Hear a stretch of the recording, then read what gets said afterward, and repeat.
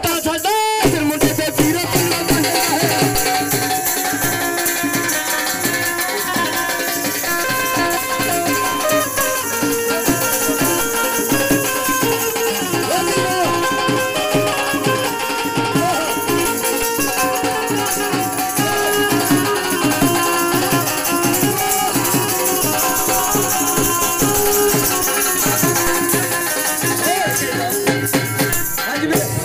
ਹਾਂਜੀ ਵੀਰੇ ਧਿਆਨ ਨਾਲ ਸੁਣਨ ਵਾਲੀ ਬੋਲੀ ਆ। ਸੋ ਕੀ ਕਹਿੰਦਾ?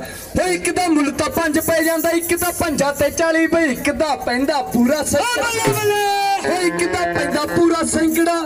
ਜਾਣੇ ਕਲਕਤ ਸਾਰੀ ਬਸਨ ਸਰੀਕੇ ਦਾ ਭਈਆਂ ਦਾ ਸਰਦਾਰੀ ਬਸਨ ਸਰੀਕੇ ਦਾ। ਭਈਆਂ ਦਾ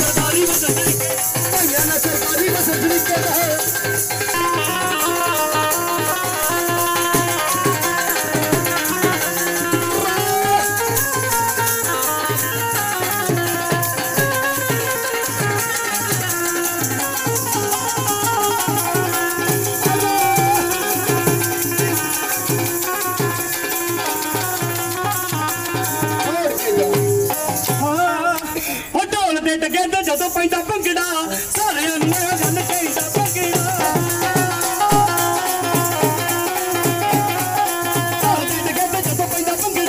ਸਾਰਿਆਂ ਨੂੰ ਮਨ